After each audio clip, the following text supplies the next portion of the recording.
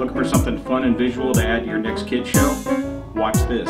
You have a bottle of Coca-Cola, you take the lid off, you insert a straw, tell them your ghostly friend is going to drink it, and it'll start drinking all by itself. And it'll actually go all the way down.